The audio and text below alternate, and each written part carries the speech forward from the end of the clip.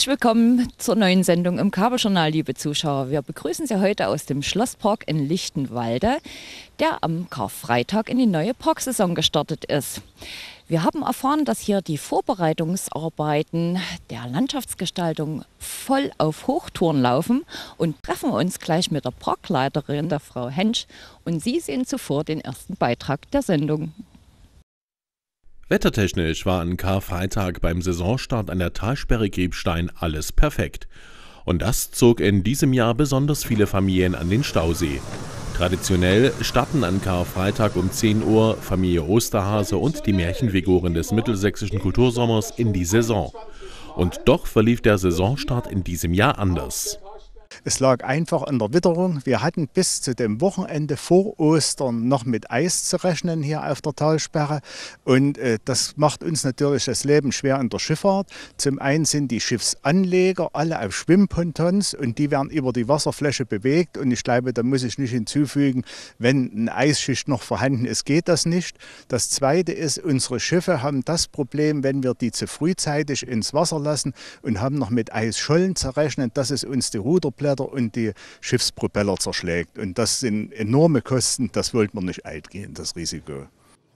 Auch wenn die Schiffe im Hafen bleiben mussten, der improvisierte Saisonstart glückte trotzdem wir hatten schon Bauchschmerzen, keine Schifffahrt, äh, eingeschränkte Zufahrt, aber die Gäste haben uns wirklich angenehm überrascht. Es waren rund 3500 Gäste, so viel wie die letzten Jahre noch nicht. Und wir sind da wirklich glücklich gewesen. Alle insgesamt, die hier auch Geschäfte betreiben hier, ich glaube, dass jeder Händler und Gastronom diesmal zufrieden gewesen. Für die Zuschauer gab es die obligatorische Geschichte um die Familie Hase am Hofe von Märchenkönig Norbert. Dicht umringt von den kleinen und großen Gästen nahm das Drama auf der Seebühne am Hafen seinen Lauf. Ich habe den Osterhase entführt. Was? Der Osterhase entführt? Das kann doch nicht sein. Nein. Eine solche Gelegenheit auf einen Hasenbraten lasse ich mir nicht entgehen. Ich habe Stall eingeschlossen. Er wird gemästet. Und wenn ihm die Ohren richtig dick sind, werde ich ihn braten und verspeisen. Max, der Hasenjunge, war entsetzt. Die Hexe hatte seinen Vater eingesperrt. Gretel, Kastendreck und Eulenschrei! Was verschwunden ist, kommt wieder herbei.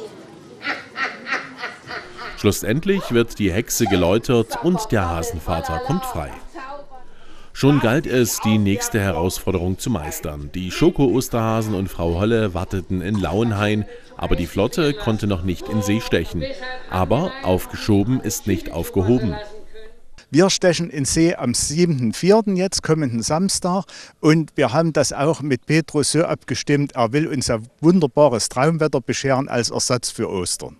Auch die Geschichte an Karfreitag nahm, wie im Märchen üblich, ein gutes Ende. Frau Holle hatte den Weg von Lauenhain nach Kriebstein gefunden und viele Schoko-Osterhasen im Gepäck. Die Märchenfiguren hatten beim Verteilen der Schokohasen alle Hände voll zu tun, allerdings erreichten diese nicht für alle. Zu den Langohren aus Schokolade gab es für die Kleinen Gutscheine für eine kostenlose Schifffahrt. Hier musste Thomas Caro nochmal nachlegen. Die Gutscheine können später eingelöst werden. Allerdings sollten die Gäste den geänderten Fahrplan beachten. Wir sind in der Vergangenheit aller 45 Minuten 14 Mal am Tag die Talsperre hoch und runter gefahren. Das ist einfach im Vergleich zum Gästeaufkommen zu viel. Wir werden jetzt alle 90 Minuten fahren und das zweite Rundfahrtschiff setzen wir dann zusätzlich ein für also gemietete Fahrten, für Sonderfahrten und natürlich an solchen Höhepunkten wie Pfingsten, Himmelfahrt. Dort werden wir natürlich auch die zwei Rundfahrtschiffe einsetzen. Uneingeschränkt fahren natürlich parallel noch dazu unsere beiden Wanderfähren, die jeden Haltepunkt anfahren und die natürlich das Standbein des Wandertourismus an der Talsperre Griebstein sind. Die Saisoneröffnung 2018 an der Talsperre Griebstein wird sicher noch lange in den Köpfen der Besucher bleiben, auch weil es für die ausgefallene Schifffahrt viele Ersatzangebote gab. Manch einer nutzte die Gelegenheit, um am Freizeitfranz Figuren zu bemalen. Der Geheimtipp waren die Totteltauben. Die anderen nutzten auch gerne weitere der vielfältigen Angebote für den märchenhaften Saisonstart an der Talsperre Griebstein.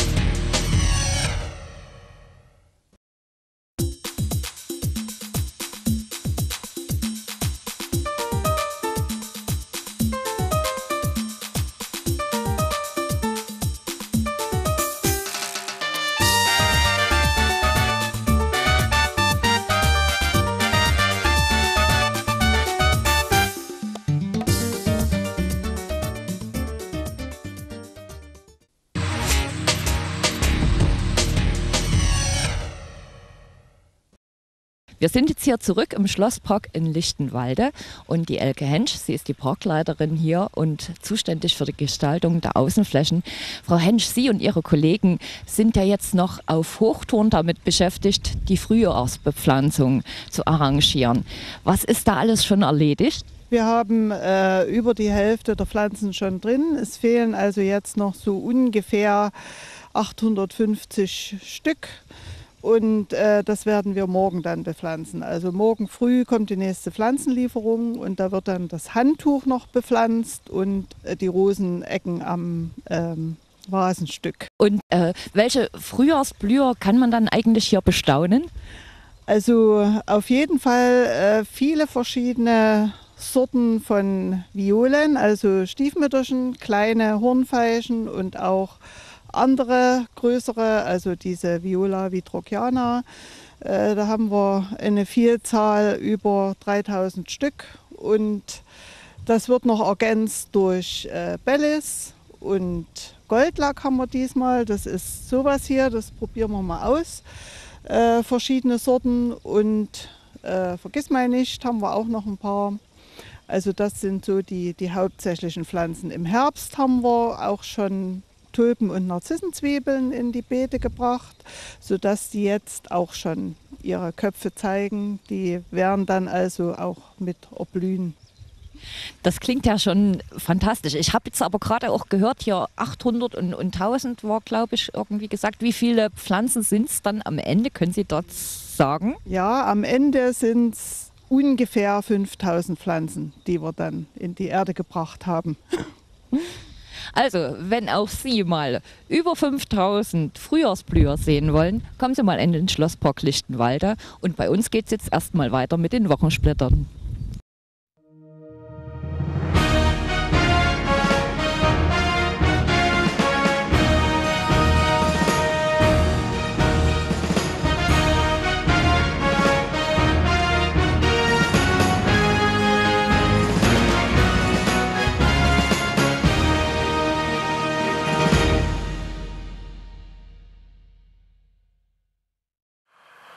Wenige Tage vor dem Osterfest wurde in der Liechtensteiner Miniwelt die Saison 2018 eröffnet. In dem kulturellen Landschaftspark können nun wieder weltberühmte Bauwerke im Maßstab 1 zu 25 besichtigt werden. Und das Besondere an der Miniwelt ist zum einen die direkte Vergleichbarkeit der Gebäude untereinander, weil, wie gesagt, in einem Maßstab gebaut, der Bau mit Originalmaterial und das alles auf 5 Hektar Gelände zusammengefasst ist.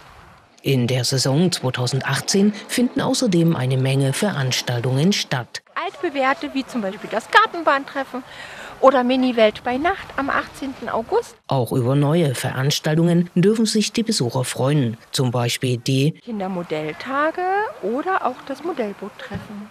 Unterstützung gibt es von zahlreichen Partnern. Wie zum Gartenbahntreffen zum Beispiel unsere ganzen Gartenbahner, die dann natürlich ihre Bahn mitbringen und bei uns in der Miniwelt fahren lassen. Zum Modellboottreffen wird der ein oder andere Schiffsmodellclub dabei sein. Und zur Miniwelt bei Nacht gibt es wieder tolle Musik und zum Schluss das Schiffsfeuerwerk. Der kulturelle Landschaftspark hat aber noch mehr zu bieten. Natürlich haben unsere Besucher in der Miniwelt nicht nur das Vergnügen, durch die Welt zu wandern und sich zu fühlen wie Gulliver auf Weltreise, sondern man kann natürlich auch im Planetarium, dem 360-Grad-Kino, unserem Minikosmos, super tolle Filme erleben und mittendrin sein im virtuellen Abenteuer. Nach dem Osterwochenende lässt die nächste Veranstaltung nicht lange auf sich warten. Am letzten Aprilwochenende findet das traditionelle Gartenbahntreffen statt.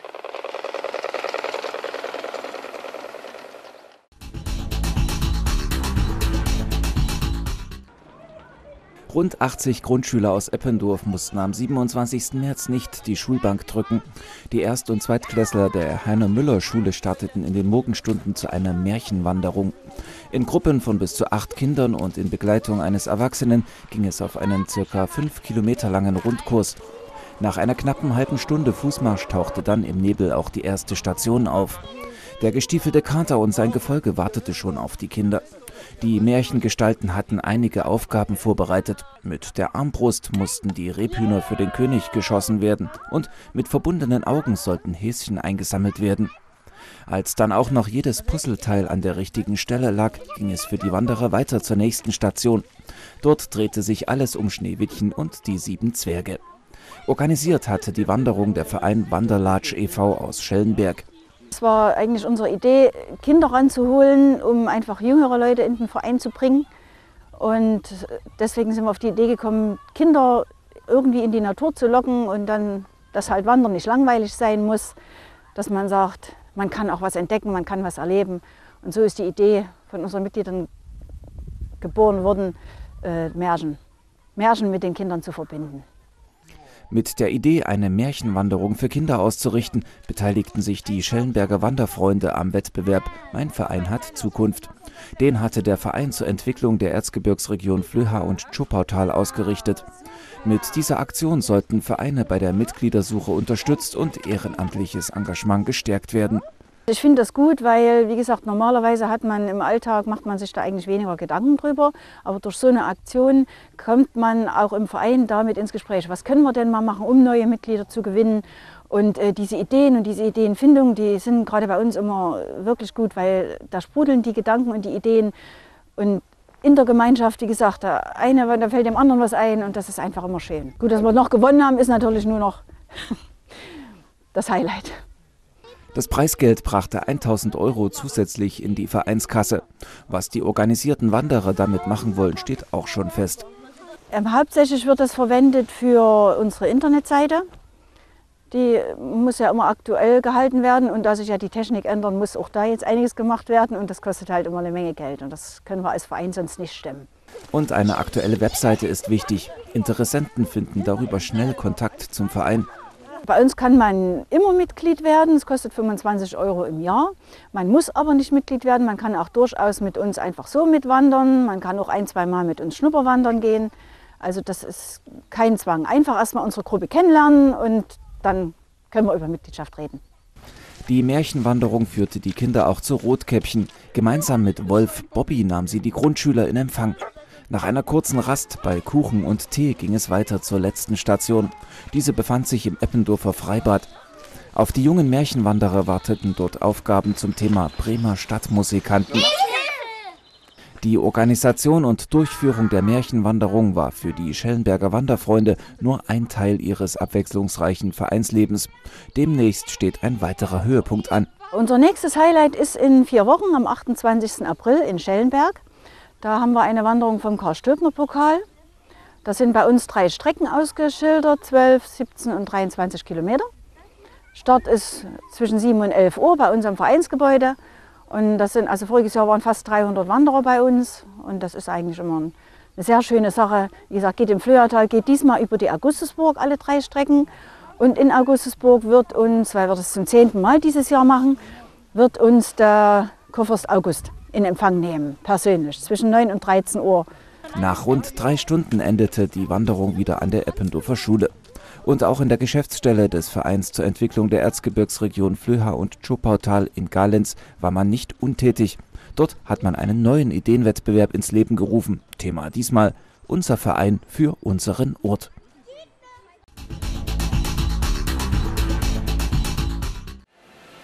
Der Samstag zwischen den Feiertagen am Osterwochenende ist für nicht wenige Arbeitnehmer ein ganz normaler Arbeitstag. Gearbeitet wurde zum Beispiel auch in diesem Lichtensteiner Autohaus. Aber es war kein gewöhnlicher Arbeitstag. Kinder hatten am Ostersamstag das Sagen. Denn der Osterhase war hier vorbeigekommen und hatte allerhand Osternester versteckt, die es von den Kleinen zu suchen galt. Fündig wurden sie allesamt.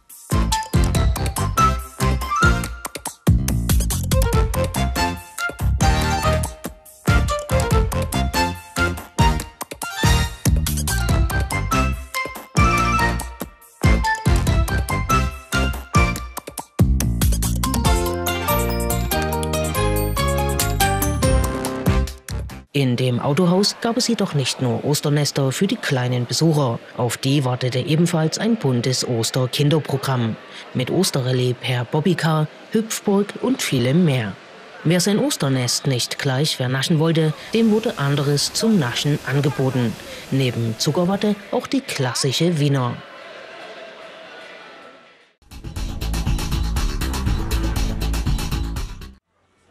Das Osterwochenende war für den Tierpark Limbach-Oberfrohna ein Besucherrekordwochenende. 4400 Besucher und damit 600 mehr als 2017 wurden in diesem Jahr gezählt. Sowohl am Karfreitag als auch am Ostermontag wurde die 1500er Marke geknackt. Trotz des nicht so guten Wetters zog es Samstag und Sonntag ebenso hunderte Osterspaziergänger in den Amerika-Themenpark. Das Highlight ist hier nach wie vor das Pinguinland. Schon allein deswegen, weil sich die trolligen Vögel gern als Fotomotiv zur Verfügung stellen.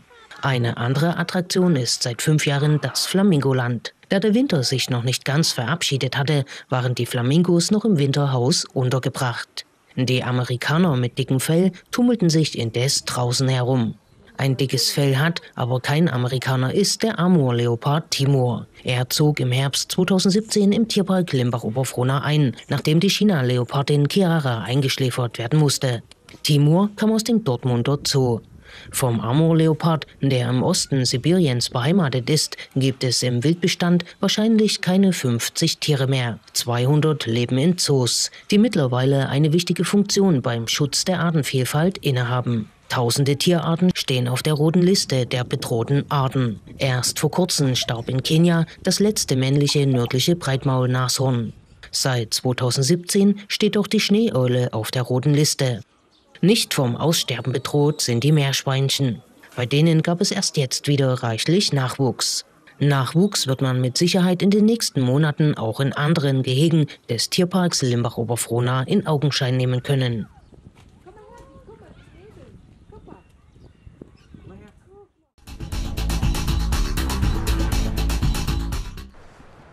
Wer jung und schön sein will, muss früh aufstehen, zumindest am Ostersonntag. Bereits um 7 Uhr morgens machte sich ein gutes Dutzend Augustusburger auf den Weg, um Osterwasser zu holen.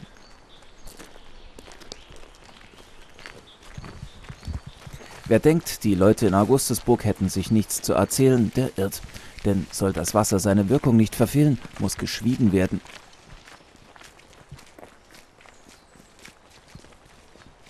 Nach circa 20 Minuten Fußmarsch durch den Wald war die Kunnersdorfer Röhre erreicht. Die Quelle war österlich geschmückt. Es wurde sich gewaschen und Wasser in mitgebrachte Gefäße abgefüllt.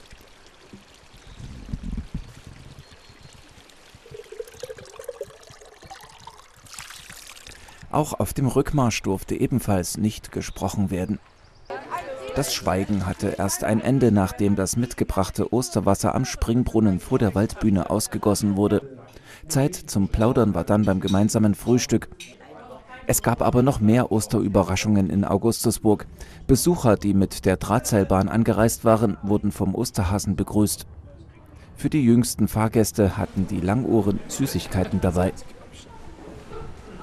Was sagt man da? Ja. Auf dem Marktplatz wartete die nächste Augustusburger Osterattraktion. Dort hatte der Kulturförderverein gemeinsam mit dem Ortschaftsrat zum großen Eierrollen eingeladen. Zunächst musste aber erst einmal die Wettkampfstrecke hergerichtet werden. Die Wettkampfgeräte, sprich Holzeier, konnten für jeweils 2,50 Euro erworben werden. Am Wettkampftag gingen insgesamt 200 Eier an den Start. Also dann, Bahne frei fürs Osterei. Ja, rollen, sie rollen und unsere neue Rollanlage funktioniert wunderbar. Oh, das erste Ei. Und wie platzieren sich die anderen? Ja, das wird spannend, das wird spannend. Auf die Besitzer der Eier, die am weitesten rollten, warteten attraktive Preise.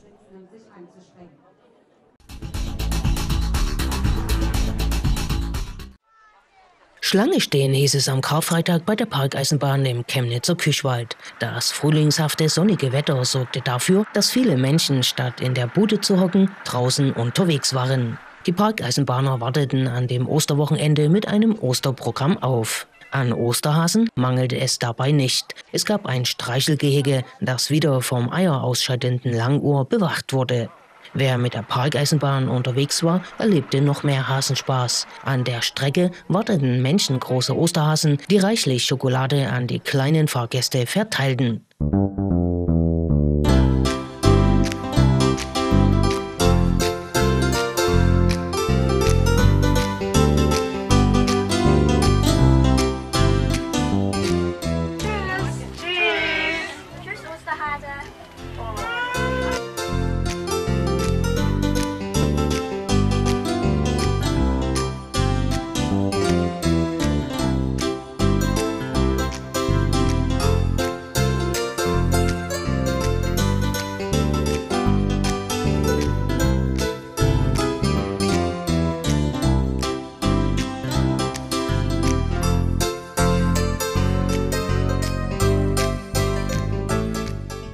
Nicht nur die Osterhasen hatten alle Hände voll zu tun. Auch die Parkeisenbahner waren mächtig am Wirbeln, um den großen Besucheransturm zu bewältigen. Eine nächste traditionelle Veranstaltung ist die Walpurgisnacht im Küchwald. Am 30. April finden ab 18 Uhr Hexenfahrten statt.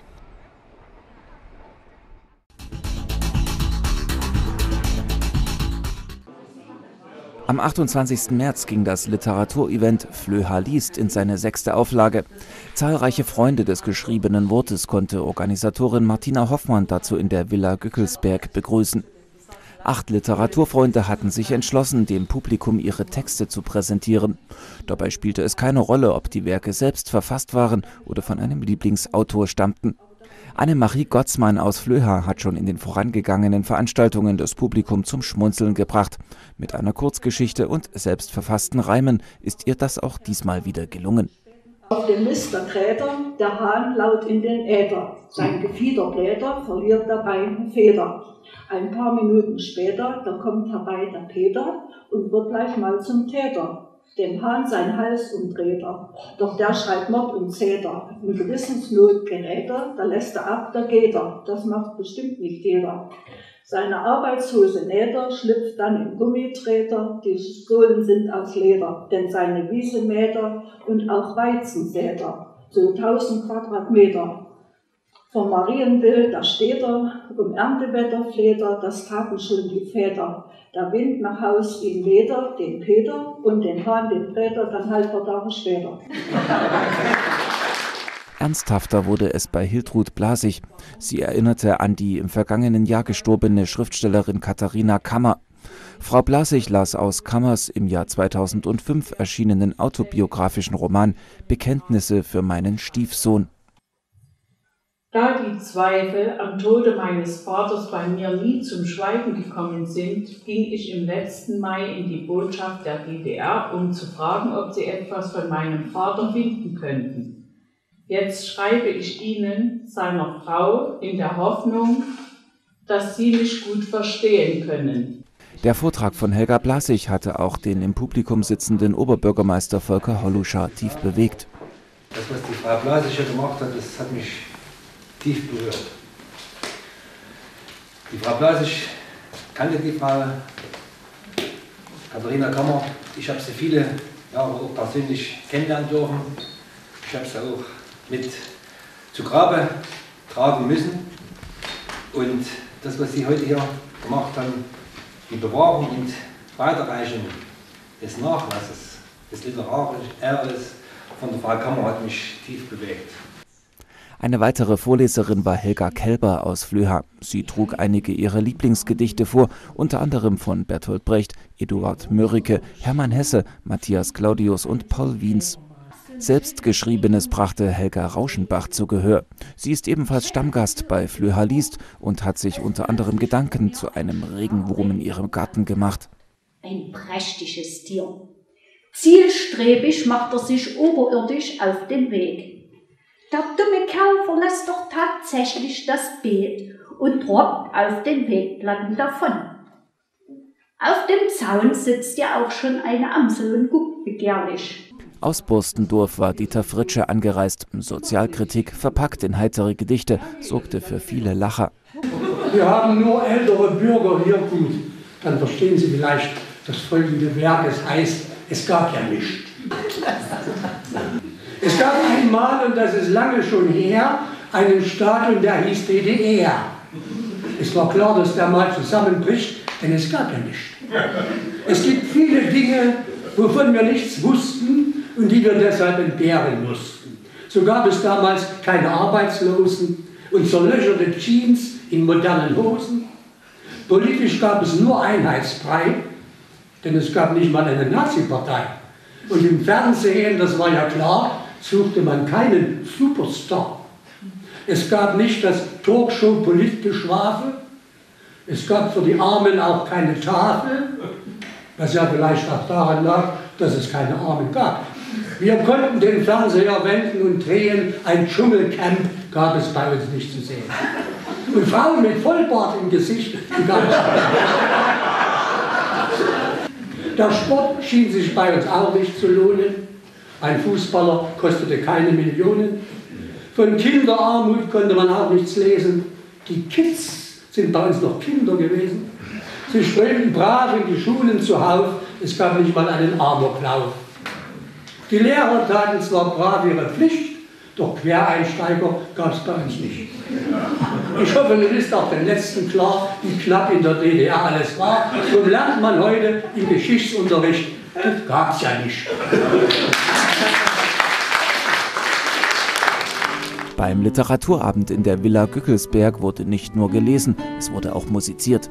Diesen Part übernahm Anna Sieber. Im Regionalwettbewerb Jugend musiziert hat sie bereits beste Platzierungen bekommen. Die Schülerin der Musikschule Flöha begleitete die Veranstaltung mit virtuosen Gitarrenklängen.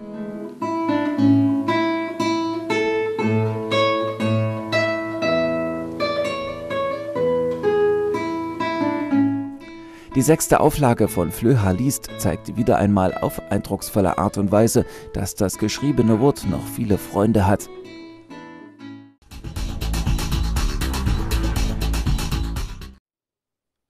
Die Pfeifen sind raus. Pünktlich vor Ostern war der erste Abschnitt zur Sanierung der Mittweidaer Kirchenorgel Geschichte. Planmäßig konnte der Instrumentenausbau abgeschlossen werden. Dieser wurde nötig, da die Generalreinigung und Sanierung der Orgel ansteht. Rund 150.000 Euro sind für die Arbeiten veranschlagt. Dazu müssen die mehr als 5000 Pfeifen ausgebaut und gereinigt werden. Die Reinigung der Pfeifen wird im Sommer stattfinden. Dafür suchen wir noch ein paar Helfer, sagt Kantorin Christiane Sander. Während die Fachleute in Bautzen für einen lupenreinen Klang sorgen, wird in Mittweida das Orgelgewölbe saniert und teilweise umgebaut. Dabei geht es auch um eine akustische Sanierung.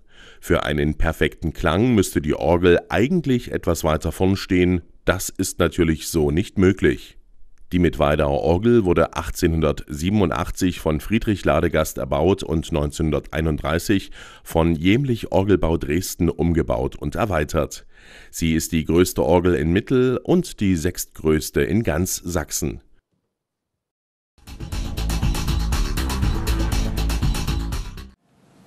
Schon zum 66. Mal hieß es am 31. März rund um den Sachsenring. Das erste internationale Sachsenring-Radrennen wurde 1956 ausgetragen. Das legendärste Rennen ist nach wie vor die Straßenweltmeisterschaft von 1960, bei der der zweimalige Weltmeister Tefe Schur Bernhard Eckstein zum Sieg verhalf. Dass der Sachsenring auch 2018 noch Wettkampfstätte für Radsportler ist, ist den Radsportenthusiasten zu verdanken, die die Tradition auf dem neuen Rundkurs wiederbelebten. Hat einen festen Platz im Rennkalender und äh, die Teilnehmerzahlen bestätigen das. Im Jahr 2018 sind die Prager vom AC Sparta Prag wieder mit dabei und selbst im Nachwuchsbereich und im Juniorenbereich der Alterskategorie U19 äh, gab es einen Teilnehmer aus Holland. Am 31. März wurden wieder verschiedene Rennen ausgetragen. Wie in jedem Jahr äh, von den Jedermännern beginnend früh gegen 9 Uhr über die Schüler, Jugend, Junioren, Senioren und das Hauptrennen der Elite mit einer Meldezahl von weit über 450 gemeldeten Aktiven. Das spannendste Rennen ist stets das der Elite. Elitefahrer von Continental Teams und Fahrer der ABC-Klasse sowie äh, doch tatsächlich 133 gemeldete Aktive. Beim Sachsenring-Radrennen im Vorfeld Favoriten zu benennen, ist schwierig. Äh, zu sagen ist, dass es acht Teilnehmer gibt, die bereits äh, dieses Rennen gewonnen haben und dabei auch die beiden Sieger des Jahres 2017 dabei sind. Robert Jägerler vom Team P&S Thüringen siegte 2017 auf dem Rundkurs. Beim Augustrennen in der Hohenstein-Ernsthaler Innenstadt setzte sich Frederik Henel vom LKT-Team Brandenburg durch. Das LKT-Team gehört mit zu den erfolgreichsten beim Sachsenring-Radrennen. Mit den Jungs aus Brandenburg war also wieder zu rechnen. Sie ließen nicht lange auf sich warten. Bereits in der dritten Runde des 3,7 Kilometer langen Rundkurses mischten Richard Banusch und Malte Jürs in einer Spitzengruppe mit. Eine Runde später hatten sich die zwei LKT-Fahrer abgesetzt. Vier Runden fuhren sie gemeinsam den anderen davon. Jörs konnte Banuschs Tempo nicht halten und ließ seinen Teamkollegen ziehen. Der hatte sich zwischendurch einen 45 Sekunden Vorsprung erkämpft. Allein die Berg- und Talstrecke zu absolvieren, kostete jedoch viel Kraft. Das Feld rückte näher. Sechs Runden vor Schluss hatte es Banusch wieder eingesammelt. Nun war wieder alles offen und das blieb es bis zum Ende der 20. Runde. Zielsport war angesagt. Noch am meisten Kraft in den Beinen hatte Martin Bauer vom RSV 54 Venusberg. Das Rennen war heute wirklich sehr stark besetzt, ähm, wie eigentlich jedes Jahr. Zeigt dann letztendlich, dass wir dieses Jahr extrem schnell waren, obwohl jetzt die Bedingungen nicht besonders nicht besser waren als die letzten Jahre. Zeigt, dass es wirklich ein sehr hartes Rennen war und dass es wirklich sehr wehgetan hat. Und äh, es hat heute hier definitiv das Stärkste gewonnen am Ende. Martin Bauer, kein Unbekannter beim Sachsenring-Radrennen. Schon als Junior stand er hier auf dem Treppchen und ja, ich habe hier in der Männerklasse schon einige gute Ergebnisse eingefahren und hatte da dann wirklich vor, heute, oder wir als Team hatten das vor, wir mussten hier einen Fahrer aufs Podest stellen, sind mit der Maßgabe rangegangen. Wussten jetzt selber nicht, wie das funktioniert oder wer genau das dann sein wird, weil das ist ein hartes Rennen hier. Der Rennverlauf, der ist ja nicht vorherzusehen. Und äh, wie gesagt, das Podest war unser Ziel und das haben wir ja nun definitiv erfüllt. Martin Bauer siegte vor Richard Banusch und Rico Brückner von der RSG Muldental-Grimma. Sachsenring ist für mich, also hier in der Gegend, ein absoluter Klassiker. Und dadurch, dass ich jetzt hier noch aus der Gegend komme, ist es für mich ein absolutes Highlight jedes Jahr aufs Neue. Und ich freue mich da sehr, dass ich das hier gewinnen konnte. 2010 gewann er das erste Mal in der Klasse Jugend. Beim Sachsenring Augustrennen 2017 wurde er Zweiter. Seine Ziele für die nächsten Monate formulierte er bescheiden. Ich studiere nebenbei, also der Sport ist für mich ein Hobby. Zwar muss man dafür viel Zeit und ja, Körner investieren, aber es ist und bleibt letztendlich ein Hobby und ich werde jetzt probieren, da irgendwo weiter gute Ergebnisse da einzufahren und ja. In der Sprintwertung beim 66. Sachsenring-Radrennen hatte Richard Banusch die Nase vorn. Zweiter wurde hier sein Teamkollege Malte Jus vor Peter Fiala vom AC Sparta Prag.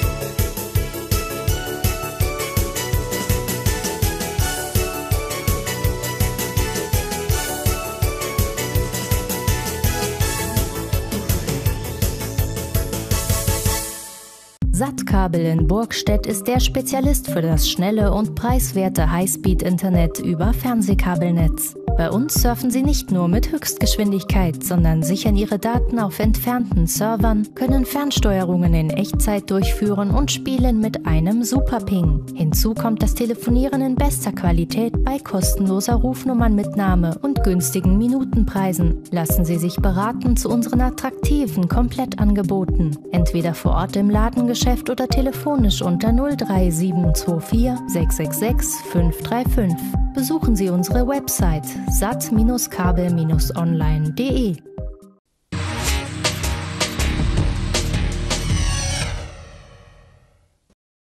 Von Schloss Lichtenwalde haben wir jetzt noch einen kleinen Abstecher auf Schloss Augustusburg gemacht, denn hier wurde kürzlich eine neue Sonderausstellung eröffnet. Der Uwe Meinig, der Museumsleiter hier von Schloss Augustusburg, wird uns jetzt mal ein bisschen erzählen, worum es dabei genau geht. Ja, es geht also praktisch um Rekordjagd auf zwei Rädern. Das heißt, hier sind 15 absolute Unikate zu sehen aus dem Zweiradsektor. Es sind Fahrzeuge, mit denen Geschwindigkeitsrekorde in der Zeit von 1904 bis 1985 erzielt wurden. Welche äh, Rennen wurden denn teilweise damit gefahren? Gibt es da irgendwelche ganz berühmten Veranstaltungen, wo Sie sagen, da sind die Maschinen gelaufen? Ja, Rennen sind überhaupt nicht damit gefahren worden. Es sind Rekordfahrzeuge. Und Rekordfahrzeuge sind immer allein gefahren, auf einer bestimmten definierten Strecke. Und es ging nur darum, den absoluten Geschwindigkeitsrekord zu erzielen. Das heißt also, zum Beispiel das Fahrzeug von 1904 hat einen Geschwindigkeitsrekord von 120 Kilometer pro Stunde erzielt. Und die Henne BMW aus den 30er Jahren war mit 256 Kilometer pro Stunde schon dabei. Das heißt also, es ging wirklich nur darum, den absoluten Geschwindigkeitsrekord in Summe zu erzielen. Was ist denn für Sie so das Highlight dieser Ausstellung?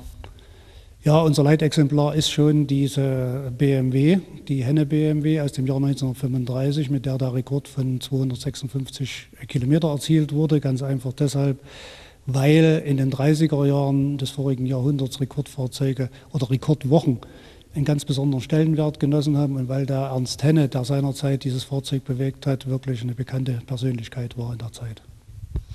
Ja, und wie lange ist die Ausstellung hier noch zu sehen? Die Ausstellung läuft nach jetzigem Stand bis Dezember 2018 noch. Ja, liebe Zuschauer, wenn auch Sie sich für Motorräder und Geschwindigkeitsrekorde interessieren, kommen Sie demnächst mal hier vorbei auf Schloss Augustusburg. Und im Programm geht es jetzt erstmal weiter mit Körbchen gesucht.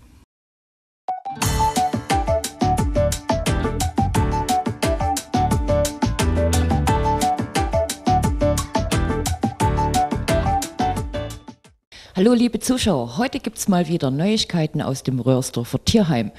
Unser erster Kandidat für die äh, Vermittlung ist der Martin. Was gibt es zu Martin zu erzählen, Nicole?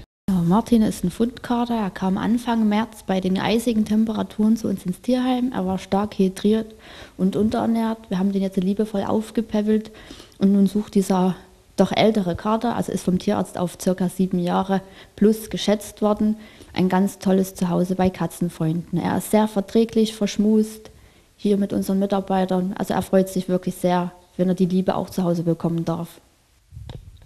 Und außer dem Martin haben wir da noch andere Katzen heute? Genau, wir gehen jetzt noch mal zu den etwas jüngeren Katzen. Na dann. Auf geht's. Ja, liebe Zuschauer, der Martin war ja ein sehr freundlicher, zugänglicher Kater und jetzt haben wir hier noch ein paar schüchterne Kätzchen oder Kater kennengelernt. Wer ist das nun wieder? Genau, wir haben den schwarz-weißen Kater, das ist der Figaro, der ist noch sehr schüchtern, kam als Fundtier zu uns, hat wahrscheinlich noch nicht viel Gutes mit den Menschen kennengelernt. Unsere Mitarbeiter sind dabei, das zu ändern. Trotzdem wäre es für ihn natürlich viel schöner, wenn er ganz schnellstmöglich ein Zuhause kriegt. Bei Menschen, die Geduld für so eine schüchterne Katze haben, dass es auch ein Schmusemonster werden kann. Er ist kastriert, geimpft, ähm, vom Tierarzt auf ca. zehn Monate geschätzt worden.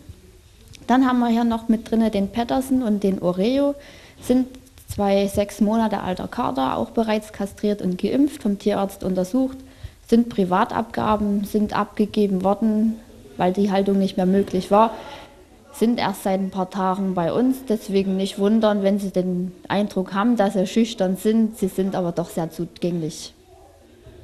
Na dann hoffen wir mal, dass die drei hübschen Kater hier bald ein schönes Zuhause finden. Das hoffen wir sehr.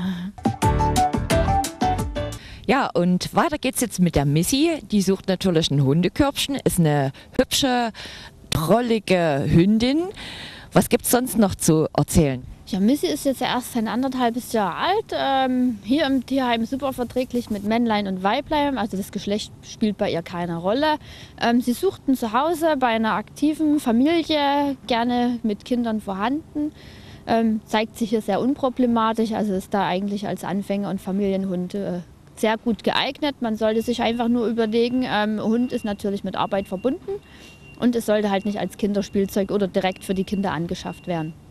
Aber mit Kindern hat sie keine Probleme, wie es aussieht, ne? Nee, überhaupt nicht. Ist auch so, dass die Missy gefunden worden ist. Sie wurde an der Schule gefunden. Also kennen sie sich leider mit Kindern aus, ja. Okay. Ja, und als nächstes können wir den Pripin kennenlernen. Wo kommt der her, Nicole? Also Pripin ist jetzt acht Jahre alt und hat sechs Jahre davon in einem slowakischen Tierheim verbracht. Er hatte jetzt das Glück, zu uns zu reisen. Es war seine letzte Chance. Ähm, dunkler Hund hatte immer schlechte Vermittlungschancen. Und nun hoffen wir, weil es ist, ist wirklich ein ganz liebenswertes Kerlchen, dass er hier endlich ein tolles Zuhause findet. Was gibt es über ihn noch zu erzählen? Äh, ist er ich sage jetzt mal familienverträglich? Ähm, hat er noch irgendwelche Mankos? Nein, also er ist hier ein sehr verträglicher Hund. Er geht eigentlich prinzipiell jedem Streit aus dem Weg. Ähm, die Leute, die er kennt, natürlich ist er mit denen vertraut. Also man kann bei ihm nicht erwarten, dass ähm, ich komme und sofort äh, wäre ich beschmust. Ähm, bei ihm muss man sich die Zeit nehmen, um Vertrauen aufzubauen. Mit Kindern, Älteren, mit Sicherheit ist er dann sehr gut verträglich. Na dann sind wir mal gespannt, ob der Pribin auch ein schönes Zuhause findet. An dieser Stelle möchten wir Ihnen noch ein kleines Sorgenkind vorstellen, den Timmy. Er hat ein amputiertes Bein. Und was gibt es noch so über den Timmy äh, zu sagen? Das ja, also Timmy ist jetzt erst zwölf Monate alt, hat doch schon sehr viel erlebt. Ähm, er kommt auch ursprünglich aus unserem slowakischen Partnertierheim. Ähm, die Haltungen vor Ort sind halt ganz anders als bei uns. Ähm, er hat sich das Beinchen eigentlich nur gebrochen doch sein Besitzer dachte sich, warum soll ich das behandeln lassen? Dies führte natürlich zu Infektionen, wo letztendlich doch das Beinchen amputiert werden musste. Ähm, große, schwere OP, die der junge Mann äh, gut überstanden hat. Und nun macht er sich auf eine Suche nach einem schönen Zuhause. Wichtig bei ihm, ebenerdig zu Hause, am besten wirklich Haus mit Garten, wo er rausgehen kann und sich seiner Wege tun kann. Also ein Gassihund, ein Spazierhund wird es nicht werden. Allerdings macht er schon einen ganz schönen agilen Eindruck trotz der Behinderung, oder? dass er das doch recht früh passiert ist, ähm, kommt er mit seinem Handicap sehr gut zurecht, ist auch hier super verträglich mit Hündlein und mit äh, Rüden. Also das passt alles prima. Also gern auch ein zweiter Hund kann mit im Zuhause wohnen, wo er sich seiner Zeit mit vertun kann. Okay, dann sind wir alle gespannt, ob auch der Timmy ein schönes neues Zuhause findet. Hoffentlich bald natürlich. Das letzte Hundekörbchen der Sendung, das hätte gern die Delia. Die Delia kommt woher? Ist ein Abgabehund, ist halt von einem Wurf Welpen übrig geblieben und ist jetzt, es ist jetzt erst mal sechs Monate alt, kam halt zusammen mit ihrem Brüderchen hierher. Das Brüderchen konnte schon vermittelt werden und nun sucht halt auch die Delia ein schönes, tolles Zuhause. Die Delia, wächst die noch oder ist die nahezu ausgewachsen? Ja, das kann man schlecht sagen, was es so für ein Mischling ist. Ähm, sage ich mal, eine kleinbleibende Rasse wird schon. Wie groß er im Endeffekt wird, können wir wirklich nicht ganz genau sagen. Auf alle Fälle ist er ja sehr freundlich, sehr verschmust. Ne? Also ich glaube, mit der hat jeder sehr viel Freude. Das ja, und man sollte halt wirklich bei ihr nicht bedenken, es ist ein Welpe, ähm, Erziehung, alleine bleiben, die Stubenreinheit muss auf jeden Fall noch trainiert werden. Ja, na dann hoffen wir auch, dass Delia ein schönes Zuhause findet. Und ansonsten hast du noch was auf dem Herzen? Ja, liebe Besucher und äh, Zuschauer der Sendung, am 2. Juni ist wieder unser Tierheimfest. Gerne können Sie sich den Termin schon vormerken und zu uns vorbeikommen. Wir verabschieden uns für diese Woche und wenn Ihnen eines der Tiere, die wir heute hier vorgestellt haben, gefallen hat und Sie natürlich auch die Voraussetzungen dafür haben, ein Tier halten zu können, dann melden Sie sich bitte bei der Nicole oder den anderen Kollegen vom Röhrsdorfer Tierheim. Wir sagen Tschüss.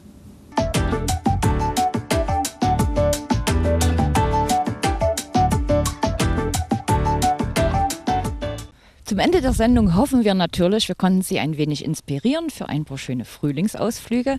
Wir sagen Tschüss, bis nächste Woche.